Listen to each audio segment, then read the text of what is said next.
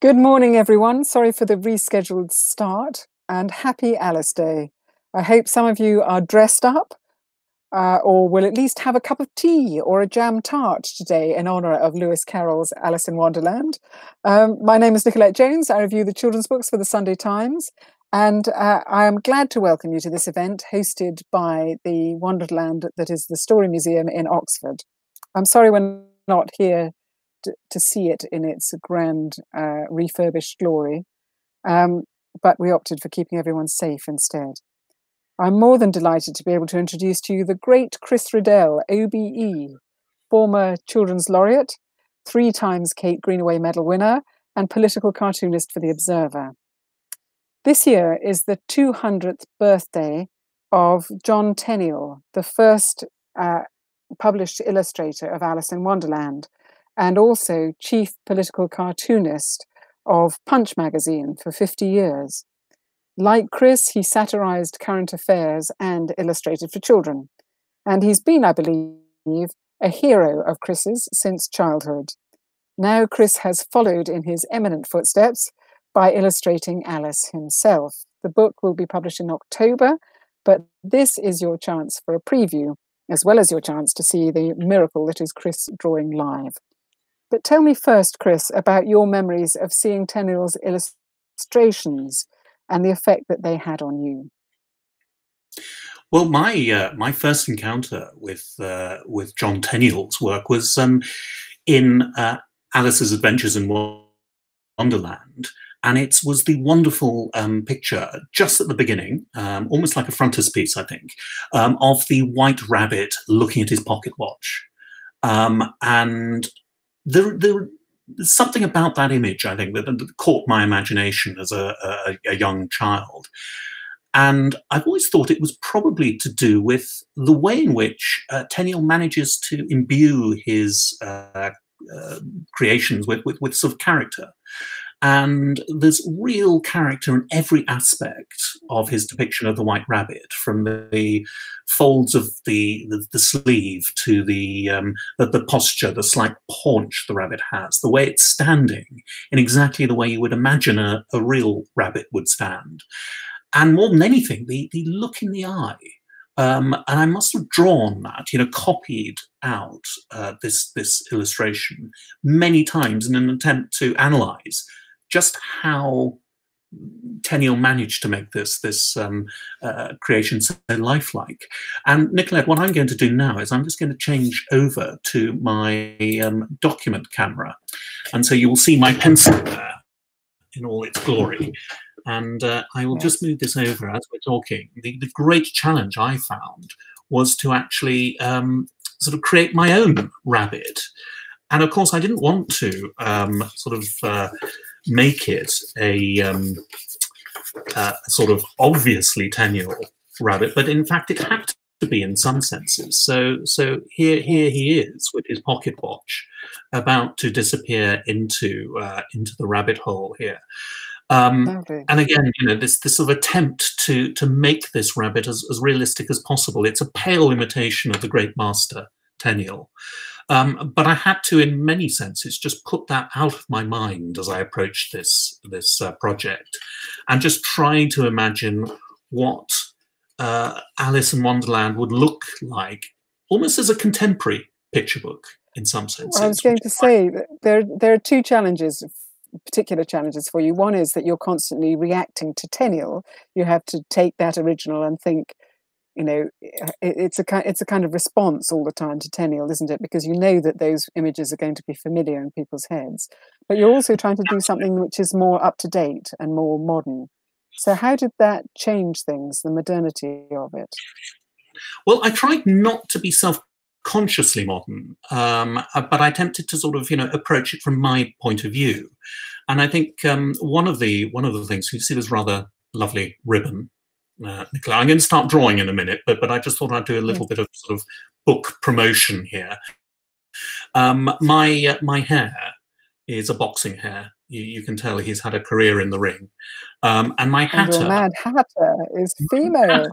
It's, well, yes, and I, I rather like this this notion of sort of the Victorian doctor who would join the British Army and, uh, and and spend a career as an eminent, you know, sort of uh, medical person, and then, you know, on his deathbed, reveal that he was a, a woman, um, uh, and I like that as, as, as, a theme. Also, that Shakespearean notion of, um, you know, sort of uh, uh, the principal uh, dressing up in men's clothing and, and passing off as a, as a, as a sort of man through through the comedy. So I thought my Hatter, which I think is Tenniel, one of Tenniel's most iconic um, characters. I thought it was um, it would be fun to actually sort of uh, make him um, a cross dresser in in a sense. And here he is with with the rabbit. So I've alternated between color and and black and white. Um, so there are many, many sort of color sort of plates and lots and lots of black and white um, throughout. Um, and I tried in a sense just. That we can, oh, sorry, I was I was just going to say that another thing you can see from that illustration that you did was to. Uh, I mean, there are two options, aren't there, with Alice? You can either go with the blonde Alice of Tenniel and uh, Disney, or you can go back, as a lot of illustrators have chosen to do, to go back to something that looks like the original portrait of Alice Liddell, who was the, the child to whom the story was originally told and on whom Alice was based. Um, one or two illustrators Absolutely. have done this before. Anthony Browne did it before, I think. Uh, um, uh, Emma Chichester Clark has a dark haired Alice. Why did you choose this option? Why did you go for her? Um, I, I, went down that that option, Nicolette, because um, I uh, absolutely loved um, Dodgson's illustration, uh, uh, his photography, um, and the, the, the beautiful sort of photographs of of Alice. So Alice as a, a lockdown sketcher, uh, um, and um, I, I loved those photographs because there's a sort of wonderful sort of intimacy in his photographs of Alice and her sisters.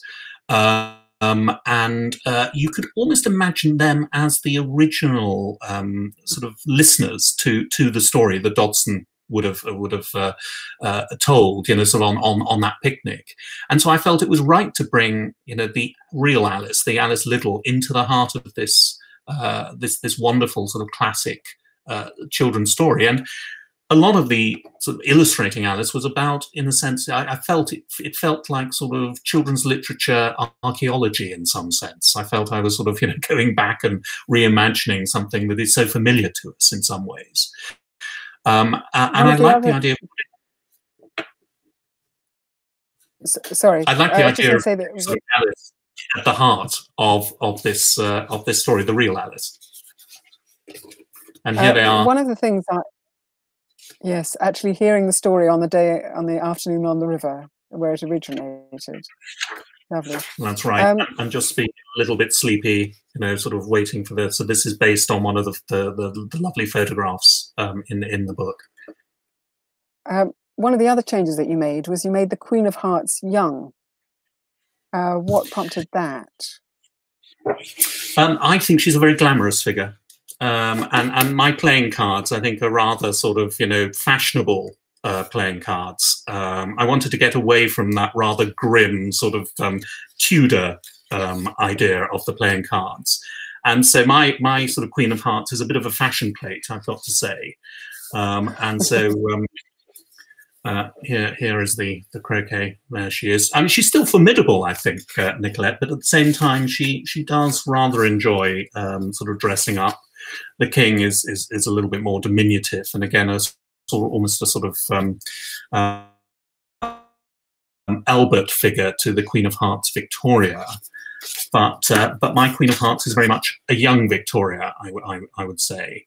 Um, and again, this is just this is my Duchess as well, who's who's a little bit sort of less Atlax than, than, than, the original. And again, it was just a way to try and reimagine this this this um, much loved uh, story in in a slightly different way. We've got we always have Tenniel's illustrations. Um, so in a sense, we have that, and those are the ones I love um, tremendously. I also love the Arthur Rackham's version um, but then you have Tove Jansson doing beautiful things. You've got Helen Oxenbury doing yes. a wonderful updated um, Alice. So I didn't need to do any of those. I just needed to do my own. So in a sense, this is my own response to uh, to these these much loved characters.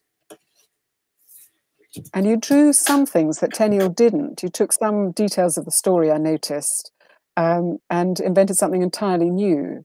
So that, for instance, I, I, don't believe there's a kangaroo or an upside down Australian in Tenniel's version, but there there is in yours, um, uh, uh, and a there, bat and a crocodile. I mean, there, there, there, was an opportunity to draw a kangaroo quite spuriously, and I, I just started to design through the looking glass.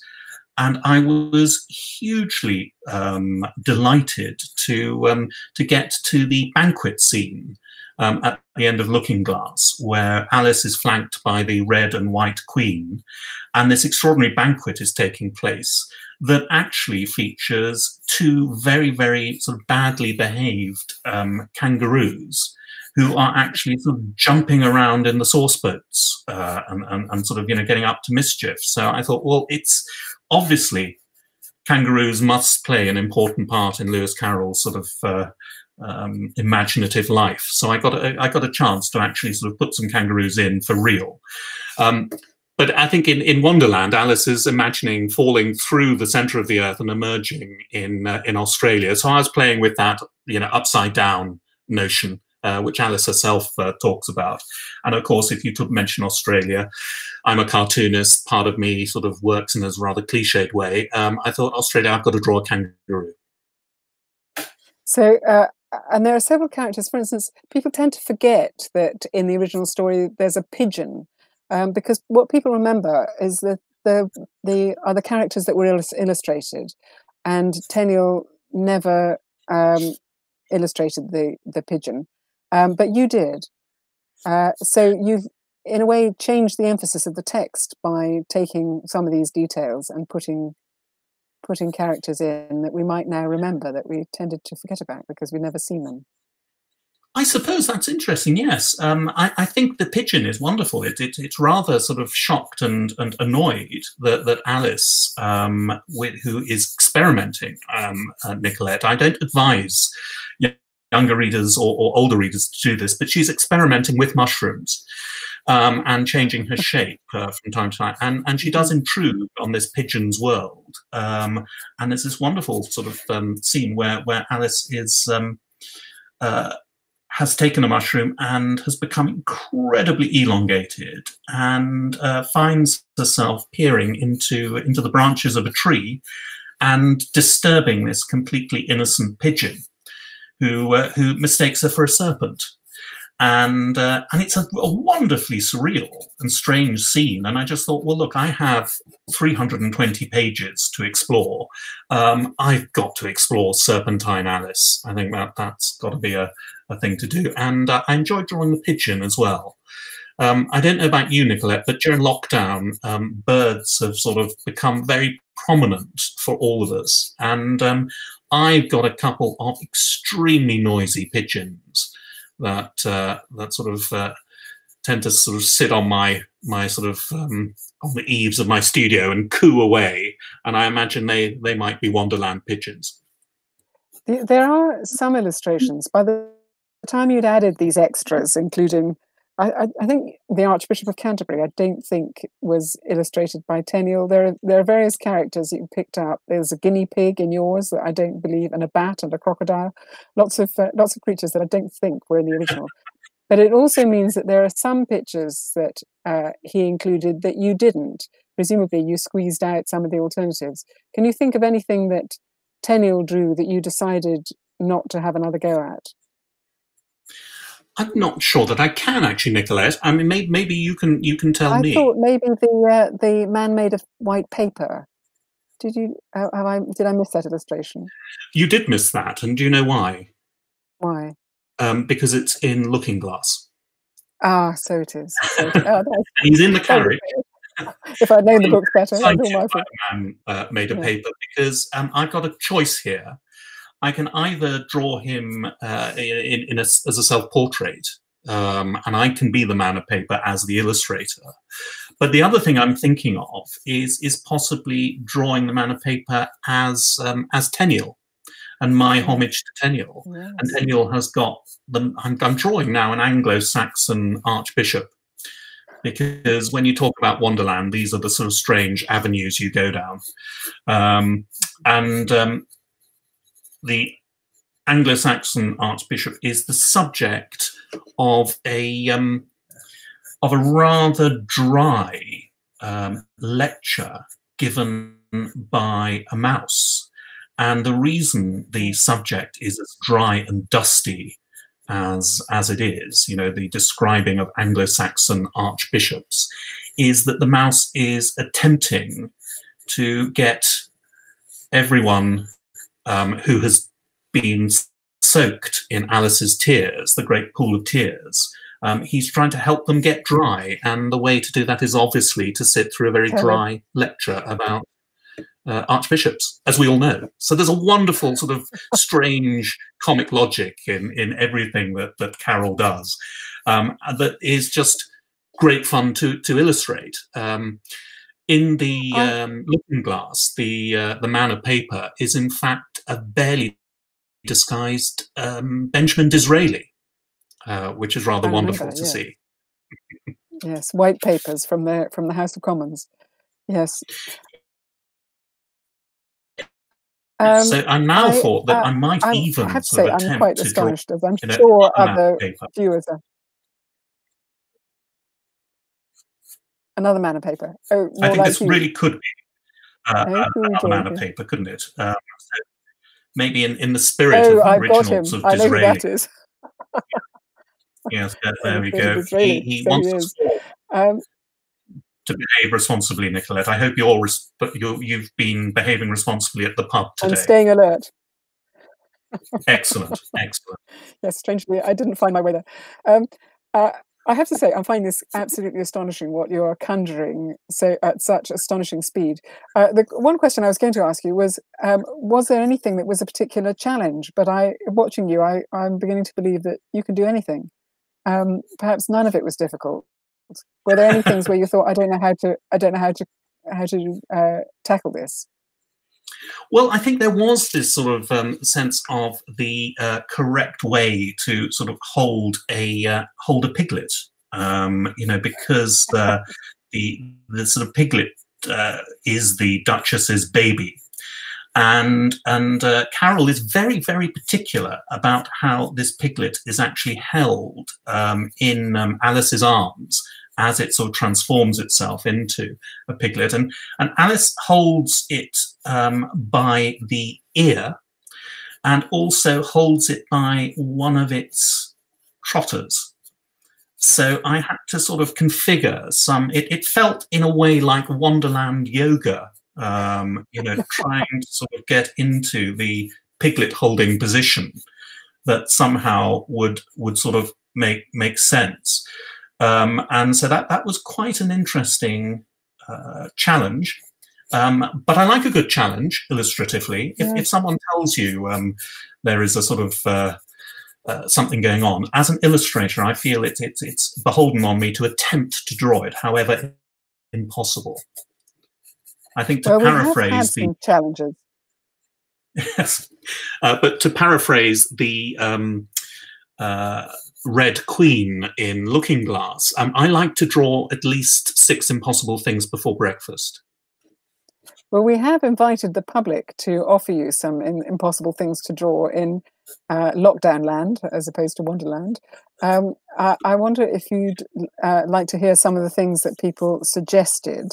I, um, I, would um, love to, Nicolette. And as you do that, I'll just do a few, as they say on Blue Peter, that I prepared earlier. Uh, these yes. are some lovely suggestions that came along on Facebook. And so the first one um, I rather enjoyed is the notion of a, um, a Hatter delivery service, because of course everything is being uh, is being sort of delivered. I'm, I'm wondering whether we could call this um, Hatteroo. I mean, that, that, that could be a trade. I'm, I'm going to trade mark that. Um, yes. that, that, could be something. That was from uh, that was from Sophie Hiscock at the Story Museum, who wanted, uh, who imagined that the Knave of Hearts might set up a new takeaway jam tart business. Yes, we, have got the takeaway jam. Tart. Everything seems to be takeaway these these days, Nicolette. I um, um but. Uh, but it is a sort of um, you know quite literally taking away the jam tarts. It's a good cover for him, I think. Yes. Um, and the other thing I rather enjoyed was was the Cheshire Cat signage suggestion, you know, which I think um, the Cheshire Cat could be perfect if they bring back the coronavirus briefings. Um, you know, a sort of disembodied text telling us contradictory things could. Some people could really go this way. Back, yeah. back on track. And and and here is um, here's a self-isolating mushroom.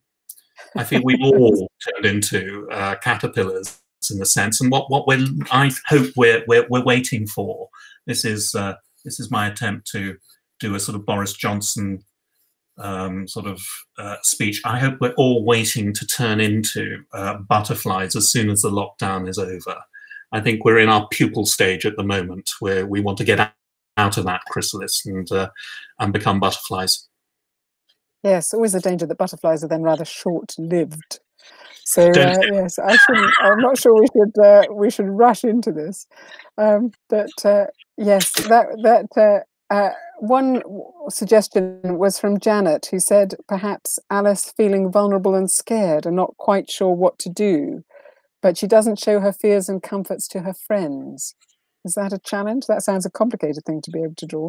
It is, but but in, in, in a way, I mean, Alice. This is the character of Alice, which I think um, is is um, really comes through in in the book. She she is um, uh, inquiring and interested, and she attempts at all times to try and sort of make make this strange world that is is so dreamlike. She she tries to sort of impose um, a, a, sort of logic, a sort of child's logic um, on on the world, and I think there is a sort of she's she's sort of brave and inquiring.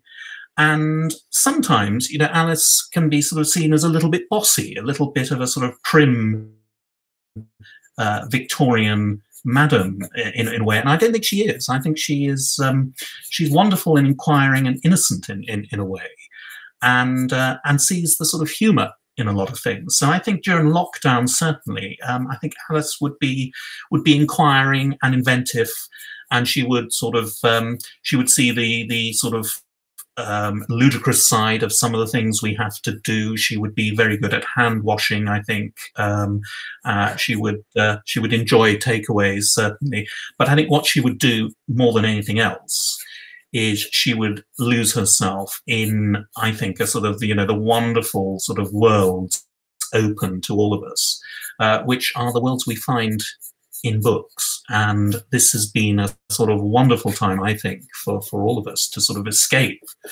through uh, through the medium of a book into Though of course they would our own wonderland, I would say.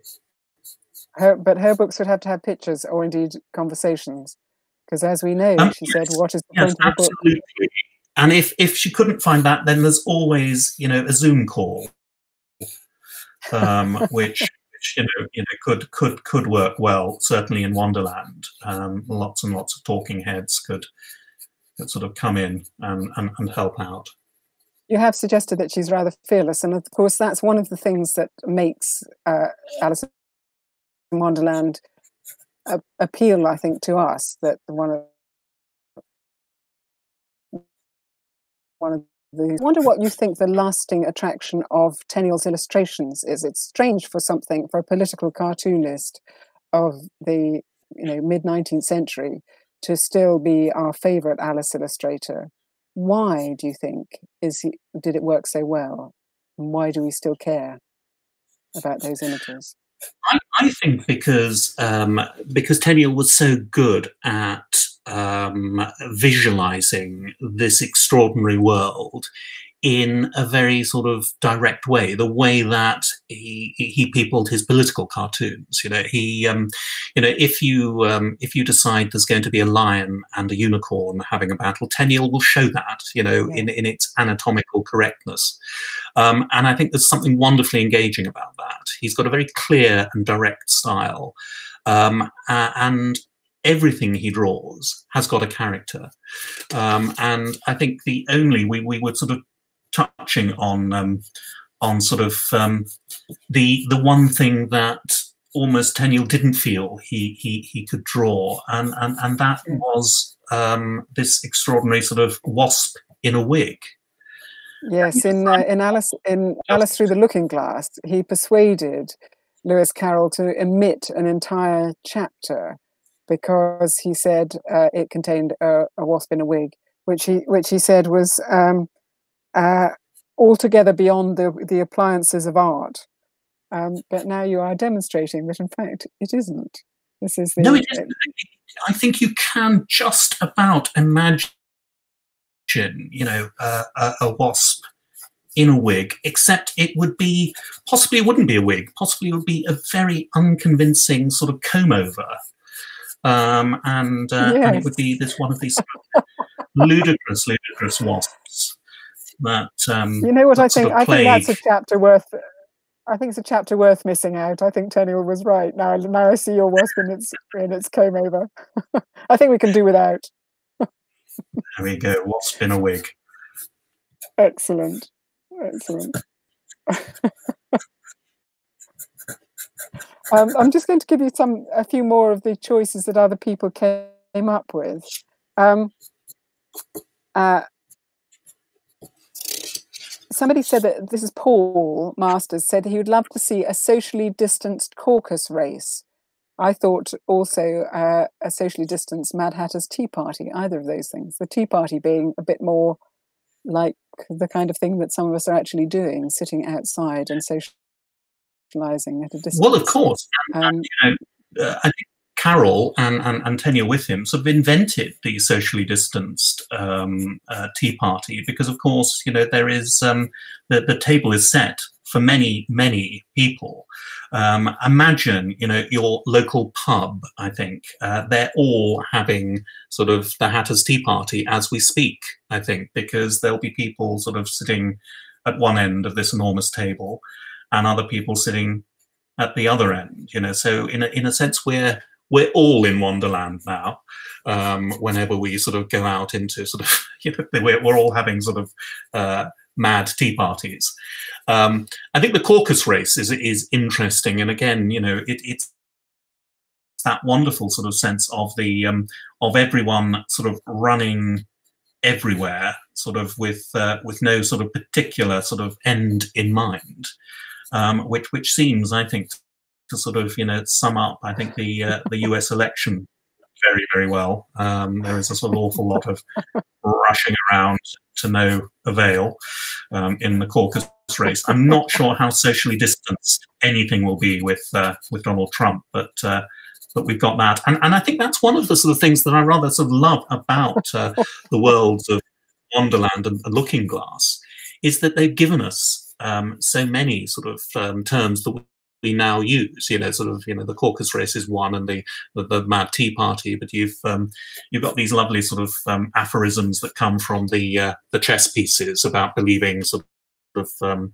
impossible things and uh, you know running extremely fast to stay in the same place and uh, you know the, these I think the these books have, have entered the public consciousness I think in an extraordinary way and it's been fantastic to be able to um, to sort of go back and, and, and, uncover some of the sort of hidden gems.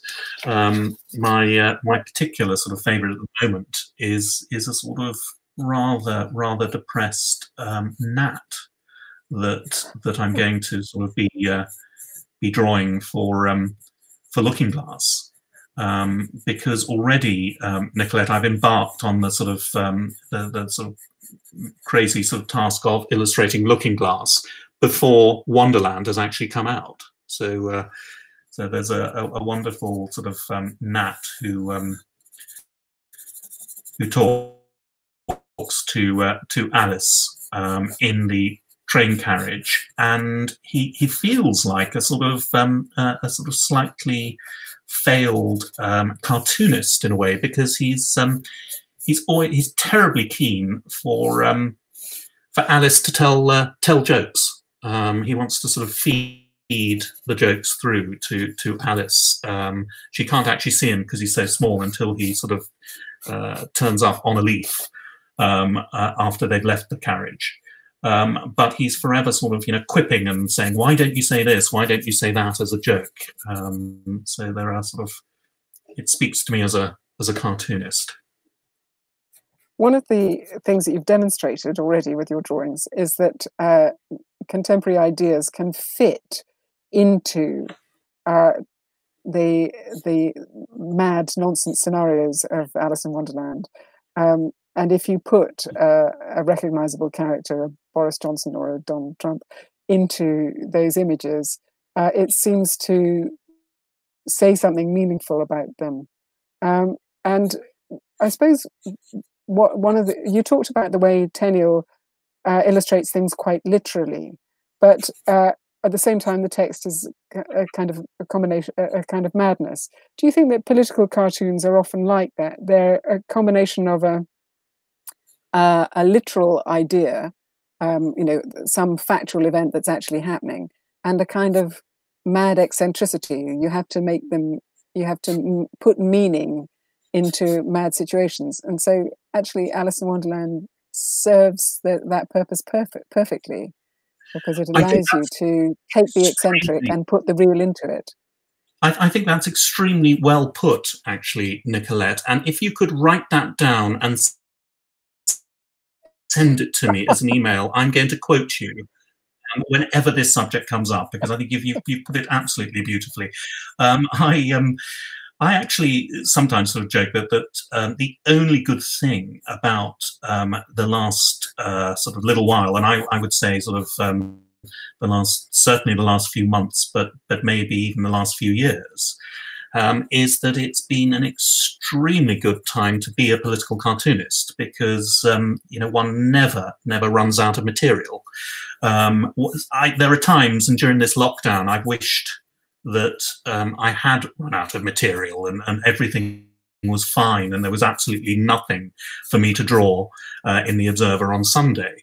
Uh, but in fact, you know, it just keeps on whenever you think we've reached some sort of point of, of ultimate sort of uh, uh, craziness, something else happens. Um, and I think, you know, what I've done to, um, uh, I'm just going to sort of reach over. Um, what I've done to uh, try and um, stop myself in the mornings is the Queen.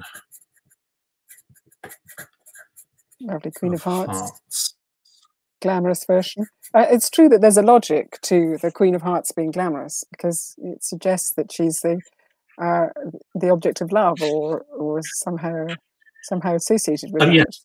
Oh yes, um, Melania. I, I mean, see. I, she's completely inscrutable.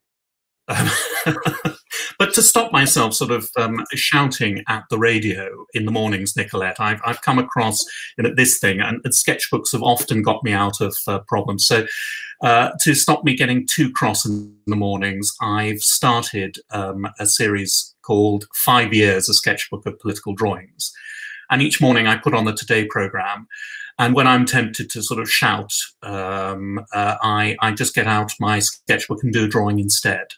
And as you see, this is volume four. So I started back in November uh, when I was at my most depressed about the political situation.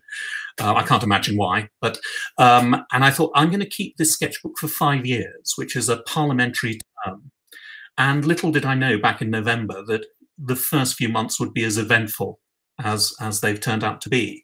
So volume uh, volume four, I've only just begun. So this is uh, this is the uh, second of July. Uh, here is uh, one country, one system. A chance to draw a Chinese dragon. Um, the Chinese Communist Party. Don't you love them? and uh, and this one was just the other day.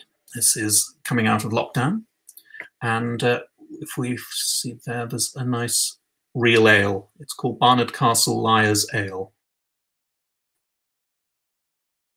Just in case you fancy a, a drink. Um, and, and just today, that uh, makes it very appetizing. Saying, I can't wait. Behave, behave responsibly.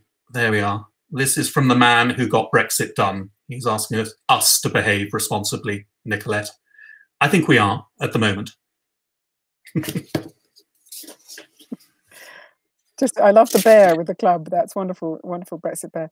One of my uh, one of my favourite illustrations is the one you drew for Brexit with um, a, a, family on a on a cliff waving goodbye to a, a, a, sort of a beautiful castle of Europe in the oh, distance. Oh yes, yes. Well, I, um, I think that was more a, uh, rather than the castle of Europe. It, it was more a sort of idea of this wonderful castle in the air that's going to be post Brexit Britain, uh, where everything is going to be wonderful, you know, and, and, and built on on really sort of secure cumulus foundations, you know. So um, so we should should be all absolutely absolutely fine um, come uh, January because um, if you're in a, a wonderful sort of economic slump, there's nothing better than to promote a sort of you know uh, opening up of the economy uh, than um, leaving the biggest uh, biggest one of the biggest uh, markets that you uh, you sell to. So we're we're going to have a lovely time, I think, come uh,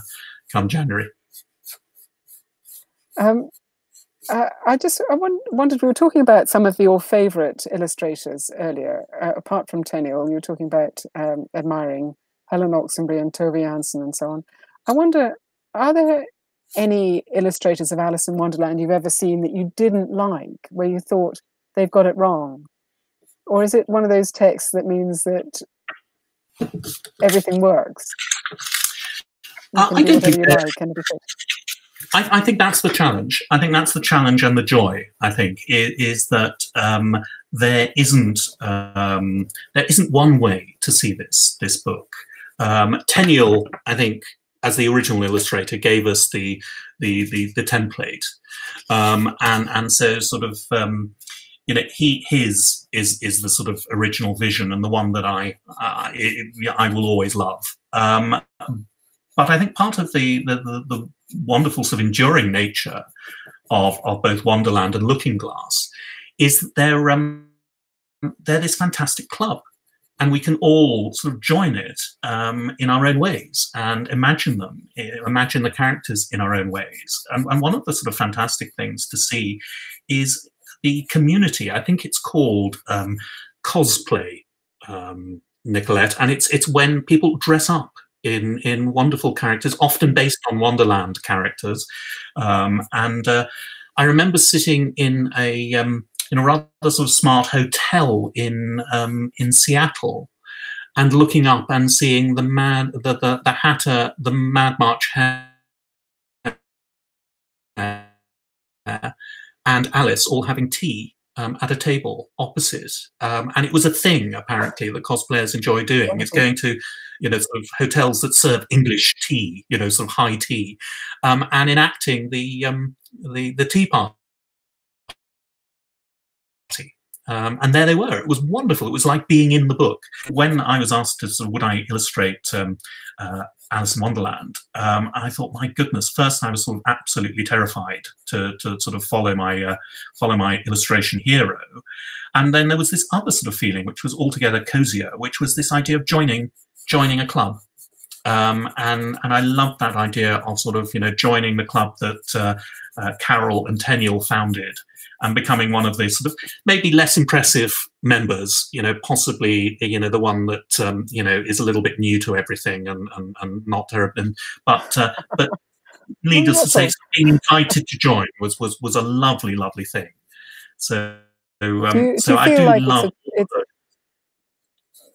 I mean, I'm I'm torn between thinking, you know, what took you so long? Because obviously you were copying the White Rabbit when you were very young and you were were a child, um, but also wondering about whether it's uh, it's like actors playing Lear. You know, it's it's a sort of at some point in your career, and possibly at a rather grand and established point in your career, it's the challenge that you're going to have to face.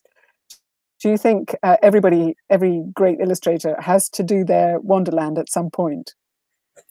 Um, yes, I, I, think you're right, um, and uh, and it's I, I think it's more for me uh, my uh, my Hamlet. I think uh, my, my Hamlet,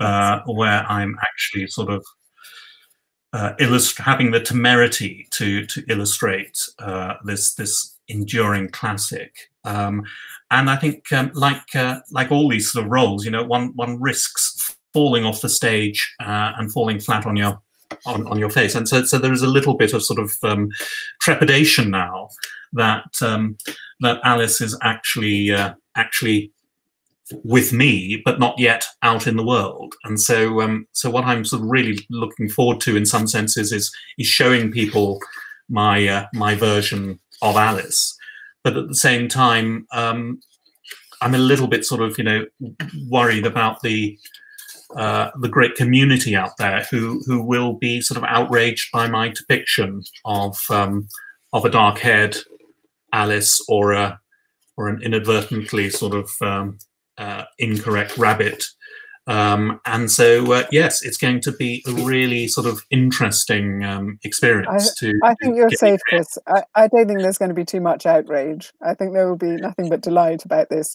Um, well, I wonder if the experience of illustrating the text made you feel differently about it. I mean, it may be that your pictures make other people feel differently about it because you've introduced new ideas through the pictures. Um, but once you'd read it again closely to think about how you were going to illustrate it, did you notice things in it that you hadn't noticed before? Did you feel differently about uh, the characters that you had originally seen through Tenniel's eyes and now you reimagined through your own? Um, is it yes. is it a different book to you now? Um, yes, it is because it, it's a book I remembered from my childhood, and then going back to to sort of reimagine it. Um, it's uh, it's justifiably a sort of surreal sort of um, a, a, sort of uh, surrealist dream in a way because of this wonderful sense of the changing scales of everything. Um, and uh, and to sort of discover the the, the sort of different uh, different sort of ways in which Alice sort of negotiates her way through Wonderland, um, you know, growing and shrinking and um, you know, sort of uh, changing her perspective on, on, on who she sees and how she gets around uh, was absolutely sort of mind blowing for me personally. Um, and uh, and there's a sort of sense in which um, you know it, it, Wonderland itself is is is a story of, of sort of um, of portals of, of moving from one one place to another, you know, through doors. And there's a wonderful sort of scene very early on where um, uh, down the rabbit hole there is a long corridor. And Alice sort of turns up at this corridor and just sees all these doors. Um, to, uh, and I've often sort of wondered, um, you know, every door has got the potential to open up into um, an, a world or different worlds every bit as sort of remarkable and unique as Wonderland itself. And uh, and I, I love that sort of uh, that notion of of books as doors. Um, and I think the, the, there's a possibility the Tenniel sort of uh, in, in Tenniel's wonderful sort of rabbit hole it contains many, many portals to different places and different worlds, and we go through one of them and find ourselves in Wonderland. And I think all of us who work in children's books, in a sense, are continually opening doors and going through them into into new worlds and discovering new realities, uh, which is the joy, I think, of reading. Um, and so I think sort of Tenniel and and uh, Carroll collaborated in this extraordinary sort of piece of work that gave us the modern children's book and so, from that point of view, I mean, I went back to the origin of everything. So, as an illustrator who's worked for many years illustrating all sorts of books, going back to Wonderland was like going back to the primary source. Um, yeah, where so it it's, all, a, it's, a, uh, it's full of possibilities, as all the doors are. It's a story about stories and potential and so on. Which, and as you say, a surrealist dream. It's not surprising that Salvador Dali was among the artists who illustrated it uh, himself.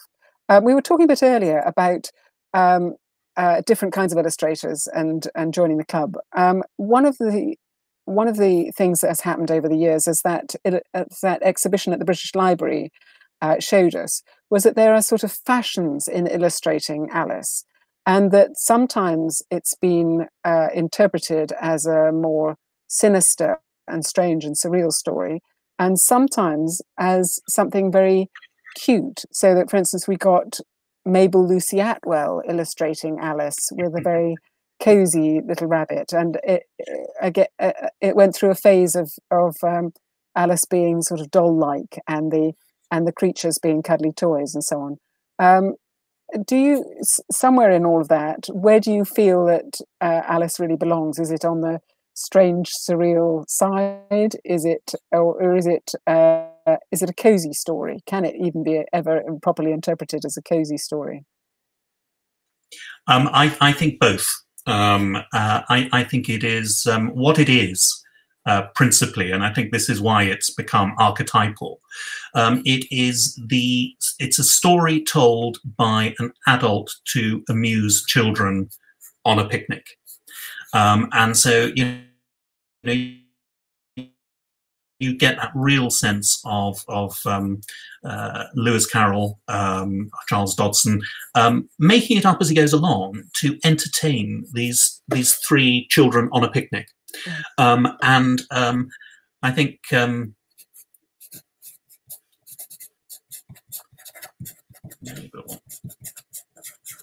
Alice, that could be a character.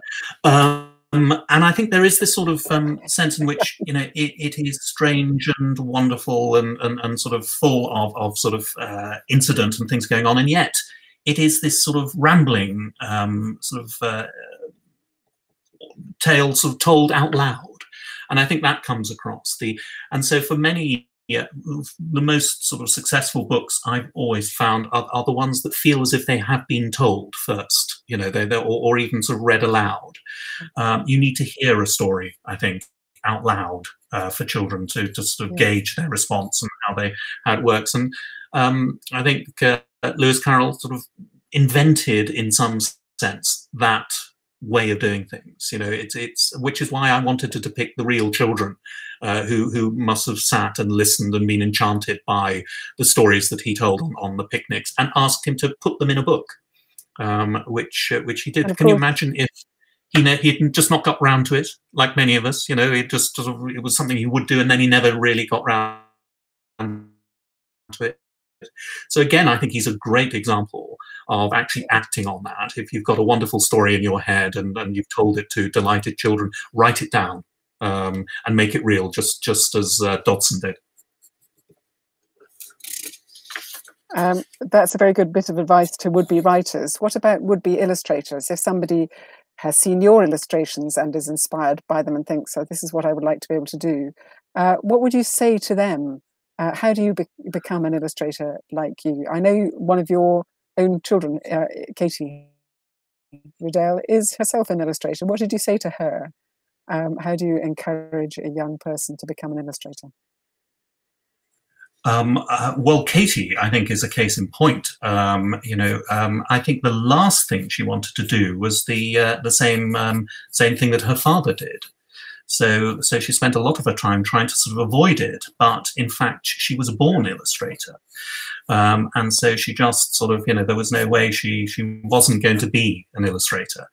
Um, uh, and so she finally accepted her fate uh, and, and, became and made me immensely proud. But uh, I think if I had personally, as her dad, encouraged her in any way, um, that would have been an end of it. Um, so I'm much better encouraging people who aren't directly related to me. Um, uh, and uh, I think there is this idea, I think for illustrators as well, of, of, sort of inspiration. You know, what what what am I going to sort of draw? How do I sort of find a style? And I always say, just just draw maybe whatever's in front of you. Um, sort of, uh, you know, just just there's always something to draw. Um, uh, you can um, very, very, very well catalogued bookshelf. I feel there's a there's a librarian lurking in, in, in, in your. I've never yes. seen ordered shelves. From here, Nicola, I can actually, I think I can discern a sort of alphabet uh, sort of system where you've actually catalogued them you all. Know, sure. You know, I told you that I alphabetized, alphabetize my books in lockdown. I love this um, image. It's wonderful. I have one last picture to add. This could be the last, but I but I thought we might just squeeze in one uh, tiny picture more, which is um, because it's Alice Day, but it is also uh, Independence Day. I thought for any American friends who are watching, perhaps we could do uh, the Mad Hatter in an Uncle Sam hat, just so we have something of uh, celebrating uh, the US at the same time as we celebrate uh, this great book and this great illustrator, and indeed your new book, which has. You know, well, as you, we've seen a lot of it, but this looks absolutely marvelous. as a um, uh, a cartoonist, I've drawn Uncle Sam so many times, um, and uh, and Uncle Sam, I think, is is one of these sort of characters that that are so useful to cartoonists because if you want to embody, you know, the spirit of a, a nation or whatever, it's it's handy to have a nice sort of uh, figure you can sort of draw easily. Um, I've been drawing Britannia and her lion quite often, just to you know, often in lockdown, wearing masks and things. Um, and so, uh, so I think on this Fourth of July we have a hatter, and I think instead of Uncle Sam, I think we we should have Sam. Perfect. Week, Fourth of July. Perfect. Well, happy Independence Day and happy Alice Day. And I love the fact that you talked about the way Lewis Carroll makes it up as it goes along. When you make it up as you go along, what a miraculous sight it is. Um, this has been absolutely wonderful to watch. Thank you so much, Chris. Uh, it's been an absolute joy to hear you and to see this. And um, you can pre order, apparently, uh, Alice in Wonderland, although it's not out till October. Um, so do rush away and do so. And enjoy the rest of your day and have a lovely cup of tea. Thank you. Nicolette, that was lovely.